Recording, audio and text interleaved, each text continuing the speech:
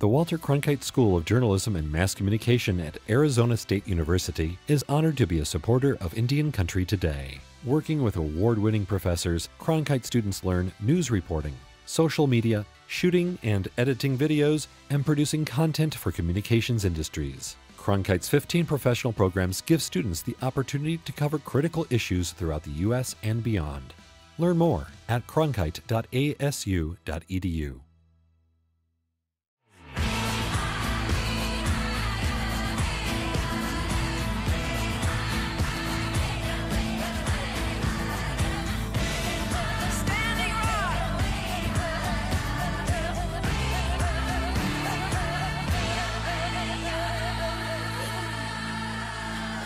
This is Indian Country Today. Esquili, yes, eh. thank you for joining us. I'm Patty Talahongva. Here are the headlines from Indian Country Today. The housing market is booming this year, and it could affect the HUD 184 Native Home Buying Program. The Department of Housing and Urban Development offers the 184 program to first-time homebuyers and those refinancing who are Native Americans. The home loan program has almost hit its $1 billion budget. Between October of last year and April, 3,000 new cases were filed. HUD is warning tribes as the program reaches its limit, the refinancing option could be phased out. HUD says it will give as much notice as possible if suspensions are needed. Updates will be posted on the website hud.gov backslash section 184, and anyone can watch for the latest information. The Native American Rights Fund and the American Civil Liberties Union are challenging two new Montana voting laws. The groups say the laws affect American Indian participation in the state's electoral process. The first law ends same day registration, which tribal citizens have relied upon to cast their votes in Montana since 2005. The second blocks organized ballot collection on rural reservations, the most isolated voter locations in the state. The distance to travel and register and vote, limited mail routes, and poverty isolate Native Americans from the political process. Jacqueline DeLeon is the lead attorney for this case and was involved in last year's Montana voting rights litigation. DeLeon says these new laws do not help the state's Native American voters. So these laws are designed to disenfranchise Native Americans, make it harder for Native Americans to vote. Um, the truth is, is that uh, the state of Montana is the first state, uh, as far as we can tell in the nation, to pull back election day registration. Along with Native American led organizations, the Blackfeet Nation, Confederated Salish and Kootenai tribes, and the Fort Belknap Indian community and the Northern Cheyenne tribe are also participating in the suit. A First Nation in Saskatchewan, Canada is closing the chapter on its 25 year old legal battle over land that was stolen in 1905. The Mosquito Grizzly Bears head Lean Man First Nation reached an agreement with the Canadian government. The settlement is worth $141 million plus interest. The Specific Claims Tribunal has received 131 claims since 2011, the majority of which are in British Columbia, Alberta, and Saskatchewan. The $141 million in compensation to the community is the largest sum the tribunal has awarded. The Mosquito Grizzly Bears head Lean Man First Nation plans to put the money into an independently managed trust. It will be used to provide a steady source of income for housing, education, and elder and youth initiatives. And by the way, the Mosquito Grizzly Bears head Lean Man First Nation is the longest name of any tribal nation in Canada. And the Heiltsuk Nation in Canada is moving forward with plans to purchase Shearwater Marine Limited. The marine is near Bella Bella on British Columbia's central coast. The First Nations signed a letter of intent to use some of the funds from an agreement with the federal government. Shearwater Company has been a spot for tourism, and it comes with a large restaurant and bar, plus coastal wilderness tours and a famous sport fishing business. The tribe anticipates the purchase will go through by the end of June. After more than a century, the Seneca Nation in New York is getting a piece of its history back. The Buffalo History Museum has returned the official Red Jacket Peace Medal to the original owners. This medal was given to Seneca diplomat Red Jacket by George Washington during negotiations for the Treaty of Canandaigua. The Seneca Nation president Matthew B. Pagels said, this medal represents what lives inside each and every Seneca, the heart of a sovereign people, and our rightful recognition as such. The tribe plans to display the medal at the Onosagwende Cultural Center. After being closed due to the pandemic for the past year, the National Museum of the American Indian in Washington, D.C. is reopening this Friday. To make sure every visit is a safe one, they have put new safety protocols in place. There will now be a limit each day to the number of people who can visit the museum. All visitors to the National Museum, no matter your age, must have a free timed entry pass to enter the museum. And every time, every times are every 30 minutes and passes are only valid for the date and time they are issued. All visitors will have to go through a security check. The museum does not offer lockers, coat, or bag check. And there's no word on when the museum's center in New York City will reopen. And those are the headlines from Indian Country today. I'm Patty Talahongva. Up next, a film takes on the Indian Child Welfare Act.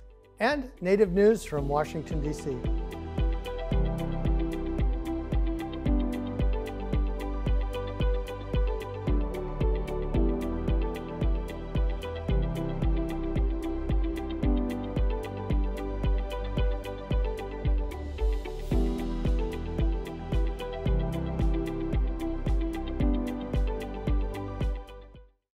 Indian Child Welfare Act became law in 1978 with a goal of keeping Native American children with their families and tribes. As Brooke Pepion Swaney found out, the law was overlooked when Kendra was adopted by the Mylnechuk family. Brooke's first feature-length documentary, Daughter of a Lost Bird, premieres at the prestigious Human Rights Watch Festival in New York and everywhere online. Welcome, Brooke. Thanks for having me. So set the stage for us with this film. Yeah, so um, you know, we decided to make a film uh, about uh, a, a, person, uh, kind of giving us an entry point into this larger national and I would even say international issue about Native kids being taken from their communities and raised in non-Native homes.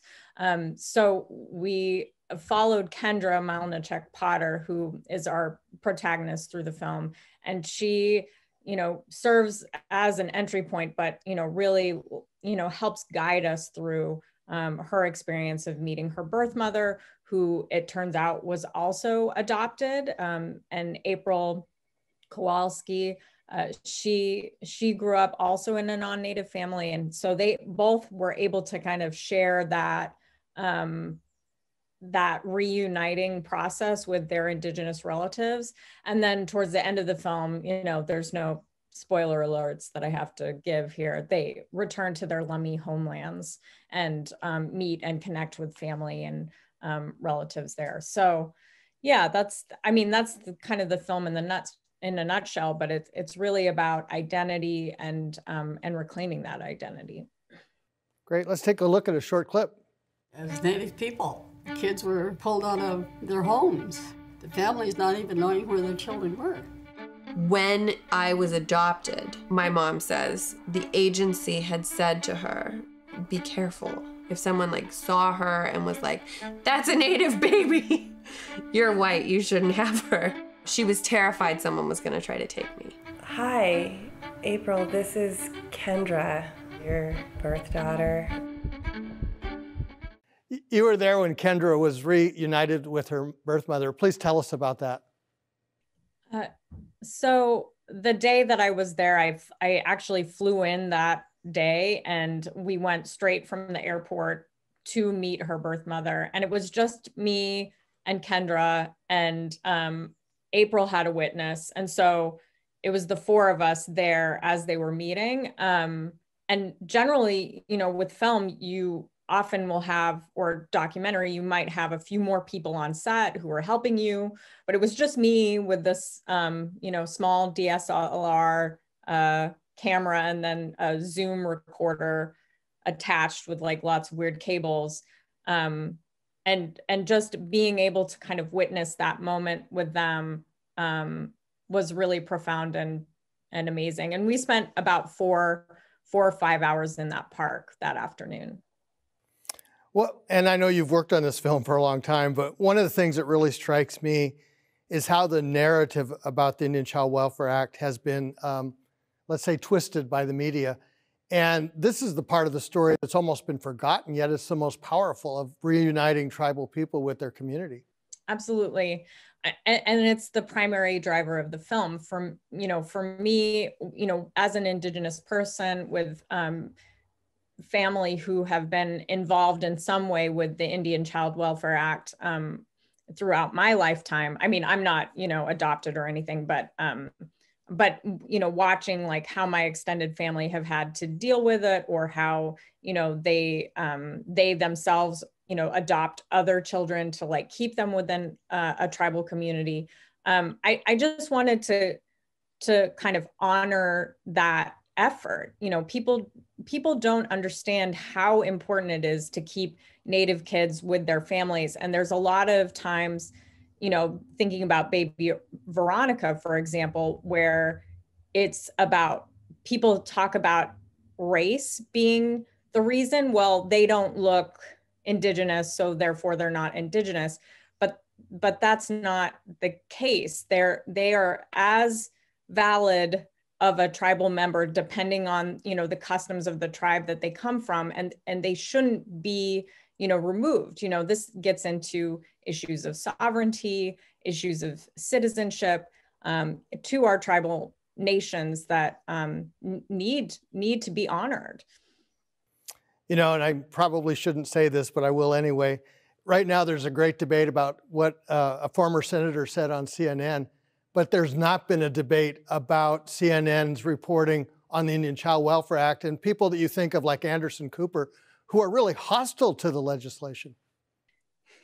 I think I think part of it is just ignorance. They don't understand, you know, why the legislation is in place. They don't understand the grassroots grassroots movement of indigenous people who have, you know, pushed to have the legislation to keep kids with, you know, native families. And look, you know, we know that it oftentimes like kids will not necessarily stay with their, you know, within their extended family, within their immediate family, um, or within their tribe. But the point of the act is to keep the kids tied in some way to their tribal community. And that's what I think is uh, so amazing about what the Lummi Grandparents Committee are doing at Lummi Nation. You know, they're really advocates for keeping Lummi kids connected, you know, culturally in some way, whichever family they end up in. And it's also a way of them kind of like monitoring and seeing, are these kids placed in a good family? Do we feel good about that? And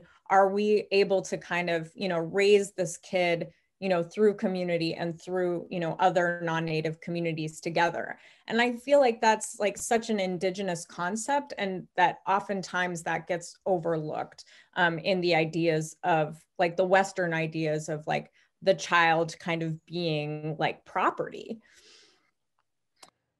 Films are so um, such personal encounters. How did you think the film uh, will change the families involved um, well, I really hope that it um, strengthens, you know, ties for everybody in the family. You know, the the the idea is about healing. You know, to heal whatever wounds or um, rifts that have been created by like the lack of connection. Um, but I think it's not just like the indigenous family, but also like the non-native family members that they might have a greater and understanding about how you know they can also um, learn and connect with their indigenous relatives.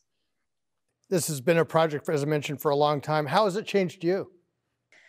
Uh, well, I was very naive going into this project. I thought, oh, this, you know, this will be, we'll just find her family and it'll be great. and, um, you know, it's more complicated than, than that. And for me, it's um, been a real honor to witness a family coming back together and to see them growing and to see, you know, like the grappling specifically that Kendra has with her indigenous identity and you know learning a lot of stuff. What I really hope you know for everybody moving forward is that you know it's not indigenous people aren't just about you know serious issues all the time either. You know we're we're full full human beings we have lots of emotions and um, so i hope that you know we can move move beyond some of the seriousness too And of course, families. I mean, you think about family gatherings, and it's that non serious side that almost always erupt almost immediately because of the way people interact. Right. Particularly. Right. What's the most important thing you want people to know about the documentary? I guess one of the most important things that I want people to know is that April and Kendra's stories aren't unique. They're um, at one point for you know a couple of generations. There were one out of three or one out of four, depending on you know which statistic you're looking at, Native kids who were removed from their families. That's a huge portion of our Indigenous population in this country, and um, by no means are their stories um, specific to everybody, but it certainly is um, something that we need to remember. Well, tell me about how people can see this and the kind of the distribution uh, that we'll have for the film. Absolutely. So, um, you know, with independent film, oftentimes you take the film out to festivals. So, um, our US premiere will be at the New York Human Rights Watch Film Festival. You can actually watch the film right now through their platform. Um, you can give them a donation, or um, if you're not able to, there's ways of, you know, paying zero dollars if that's not in your pocketbook. Um, the and then we're going to be doing a q&a on may 26th at 8 o'clock eastern standard time uh, 7 o'clock central 6 o'clock mountain 5 o'clock pacific um, with moder- moderated by um, Dr. Adrienne Keene and Matika Wilbur from the podcast All My Relations, along with um, Terry Cross, who is the founding executive director of uh, the National Indian Child Welfare Association. So we really hope that you're able to join us in that conversation um, because, you know, I still have a lot to learn about, you know, this topic. And then beyond the closing night um, you know, on the May 26th, uh, we're, we'll probably be in a couple more festivals throughout the country. Um, and it may or may not be geo-blocked to the region depending on the festival. Uh, but we are currently, you know, in talks with um, PBS about a broadcast at a later date if you do miss our online or maybe hopefully since we're all getting vaccinated, um, we can meet and, you know, be at a festival in person. That's that's exciting. Um, and I guess congratulations because one of the festivals, Toronto Hot Docs, has already given you an award for the film. Well, I, we didn't receive an award, but uh, participating in Hot Docs in and of itself is was uh, is such a prestigious um, documentary film festival, and that was our North American premiere um, earlier this month, and and we were, we're so grateful for them for that opportunity. I, I think um, what, what, stories are left to tell about Indian Child Welfare Act? I mean, you've just barely touched it with this one family. What's left on the agenda? Well, I think um, you know there I, there's a continued battle in the courts like that. You know that absolutely is still a, a story that can be told um, in depth. Uh, there's still you know a lot uh, about the foster care system that is problematic and you know needs a you know in-depth investigation and examination um, regarding you know how indian or you know indigenous kids get put into the system. Um, yeah i mean there's a lot of stories still to explore. Wow we look forward to seeing this one. Thank you so much. Thank you. It's nice to be here mark Thank you, Brooke. The Daughter of a Lost Bird is at the closing night for the Human Rights Watch Film Festival, and we'll have links on our site. We'll be right back with our weekly check in, this time with Holly Cook Macarro.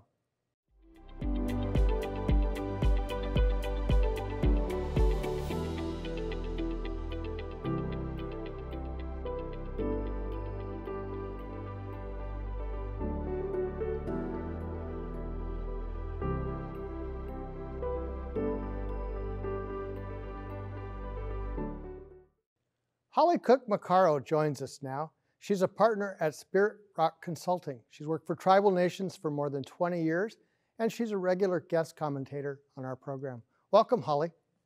Thank you, Mark. Good afternoon. So uh, let's start with Florida. Um, what are the what's the outline of this deal that's changing the nature of gaming? Well, the um, all eyes are on Florida this week. If you look at social media, um, and uh, a lot of the information that's coming out in terms of the gaming deal um, in sports betting. The Seminole Tribe is about to be the big winner in the third largest state in the country. They will uh, have control of sports betting. They will have authorized three new casinos in Hollywood, Florida. They will um, also not just be in control of sports betting for themselves, but for the state. They will be the ones who will um, be the operator for sports betting in the state. At least that's my understanding. And um, all for a cost of $500 million a year at, at, at a minimum to the state. So it's a multi, and that deal will be locked in for 30 years. That is the deal that was passed by the Senate, the state Senate yesterday, uh, 38 to 1. Terrific support coming out of there. Uh, it, I don't think it will have quite that, that lopsided number in the, in the House there in the Senate today, but it is expected to pass. And Governor DeSantis negotiated that deal. So it is expected to go through that won't be the end of the story. There is expected litigation as well, but this is a tremendous victory for the Seminole tribe of Florida. And I really think a bellwether for uh, how what tribes need to do in looking to both protect our brick and mortar, keep an eye on the expansion of gaming, which is something tribal leaders have long just really, I think, stood firm on, but also with um, with this expansion of gaming in so many states, mobile gaming, sports betting, as we've seen over the last year, it is really something that tribal leadership is going to be looking to. And deals like this, deals like New York, which are wide, wildly different, deals like Arizona, those give all the folks who don't have tribal interests um, in mind uh, ideas about how to approach those states like California, which is really, you know, the golden nugget in terms of mobile gaming and sports betting. You know, Holly, um, you mentioned three states New York, Florida, and Arizona. And I was a reporter in 1988 when the uh, Gaming Regulatory Act passed Congress. And um, I remember then it being entirely a federal issue. And now the landscape has changed. It's the deals and the negotiations are at state capitals rather than Washington. What does that mean for gaming in general, for tribal gaming? I, I think it reflects a uh, a necessary shift. There are some tribes who have long been active in their state capitals, but because of our uh, federal federal tribal relationship, the foundations of tribal sovereignty, that's long been where we have gone. But you're right. Um, after the passage of the Wire Act, really, this has driven the tribal leadership and their efforts towards the state level necessarily, and uh, that that evolution, I think, is again just part of the part of the evolution of tribal politics. The the influence that is now there on the federal side, and now we see it in effect and effectively more and more effectively in some states than others uh, in play. And so I think that will play out in a number of different ways. You mentioned, um, oh, let me shift, shift topics. There was a um, hearing on Capitol Hill for confirmation. Uh, maybe tell us about that. Yes, it um, for all the political junkies out there who love to watch these things, uh, Bob Anderson, who is an enrolled member of the Bois Forte Band of Ojibwe in northern Minnesota, uh, he was his confirmation hearing. He's been nominated to be the solicitor for the Department of Interior, which is the top lawyer. He's not just doing Indian affairs, uh, which he did in a previous administration, but he is the top lawyer, akin to what Hilary Tompkins, um, a member of the Navajo Nation, was during the Obama administration. So again, an extraordinary appointment um, at the department and widely supported in Indian country. Most folks and legal scholars know um, the, the bright star that Bob Anderson is and has been. Uh, his hear he did very well at his hearing yesterday. Uh, I was his his the he had a couple of questions on McGirt from Lankford. Uh, I thought he really handled a question from Senator Mike Lee regarding the exclusion of tribal lands from the oil and gas leasing exemption quite well. And uh, it was fun to see because uh, Mike Lee has a long reputation for holding up nearly every tribal bill in the Senate for some reason or another. You've always got to get by Mike Lee, but Bob Anderson, I thought really schooled him on, on the politics of Indian lands and the, and the differing jurisdiction and authority that the Department of Interior has versus state lands. A theme we've kind of hit several times when you've been on the show is about just the influence in really significant posts, and this would be one, of course. I understand there's also some new ones that we should uh, talk about. Yes, there is uh, very relevant right now, but uh, Fatima Abbas, who has been at NCAI and one of the lead staffers in both monitoring, advocating for, and um, helping with the implementation, getting, getting information out to tribes. She is uh, moving over to the Department of Treasury. So she's left NCAI, or she will be at the end of the week. And this is a new move for Treasury. She is going to help set up and implement the, the, the funds that are coming out of the American Rescue Plan. That's a huge deal. You, know, this is the 20 billion plus another, I think 10, 12 billion more that will that they will be administering. So for the first time, we are going to have uh, Native American staffers in place at the Department of Treasury. And uh, I'm hopeful that her, her, time there and her clear, her clear expertise on this, uh, it's going to make it a much smoother path this time around. We always learn a lot. Thank you, Holly Cook. Macarro. Yes, thank you, Mark. And that's a slice of our Indigenous world. Join us again tomorrow and online at IndianCountryToday.com. Thank you for watching. I'm Mark Trahant. Sometimes you got to take a stand just because you know you can. Oh, you got to run, you got to run.